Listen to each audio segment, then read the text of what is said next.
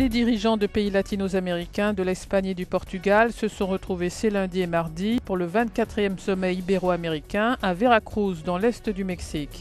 C'est le premier auquel participe le roi d'Espagne, un sommet centré sur l'éducation, la culture et l'innovation.